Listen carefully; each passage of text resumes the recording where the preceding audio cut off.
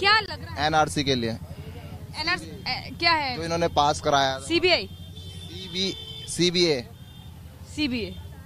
इसको लेकर आप नाराज़गी व्यक्त कर रहे हैं। सी अरे क्या है यार। अरे क्या है यार। किसी को पता है कि नाराज़गी क्यों की जा है? मतलब ये आईडी प्रूफ मांग रहे हैं सत्तर साल पुराना।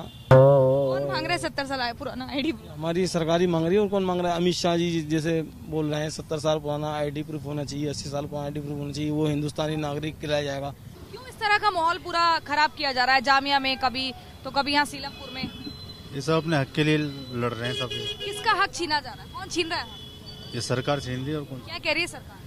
ये जो लागू कर रहे हैं एनसीआर जो भी कर रहे हैं ये तो सब गलत है ना? ये जो लागू कर रहे हैं एनसीआर जो भी कर रहे हैं ये तो सब गलत है ना? आप आप समझ पा रहे हैं उस पूरे बिल को कि आखिर है क्या जो इस देश में है वो तो सब हिंदुस्तानी है ना? ये देश तो सबके लिए है ना? तो यहाँ तो सबको रहने का हक है। अब जो यहाँ पे रह रहा है साठ साल से पचास साल से तो उनके लिए है ना देश तो ये? अब जो बाहर से आ रहा है उनके लिए थोड़ी। हम किस लिए? इतने लोग किस लिए जुटे? किस बात के लिए आवाज़? भाई अपने इंसाफ के लिए अपने इंसाफ इंसाफ किस लिए?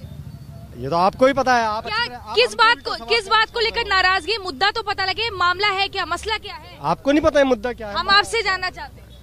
आप वो चीज़ जानिए ना हमसे जो आपको ना पता हो जब आपको पता मसला आप जो मसला समझ रहे हैं वो हम जानना चाहते हैं। मसला यही है देखिए मैम साफ़ है कि हर जो भारत के अंदर नागरिकता है नागरिक है और सब बच्चे से लेके बूढ़े तक जानते हैं कि ये भारत उनका अपना है किसी के बाप का नहीं है और नागरिकता तो छीनी जाएगी ऐसी कोई सजेशन नहीं है जो नागरिकता भारतवासियों से छीन ली जाए।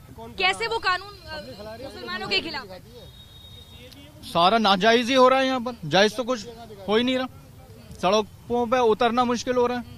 अब हम कितना लड़े, कितनी जनता कल भी यहाँ इतना केस हुआ है। उसके बावजूद भी पुलिस वाले हाथापाई कर रहे हैं, गलियों में घुस घुस के मार रहे हैं। क्यों मार रहे हैं? किस वजह क्या है? इसको आप समझ पा रहे हैं?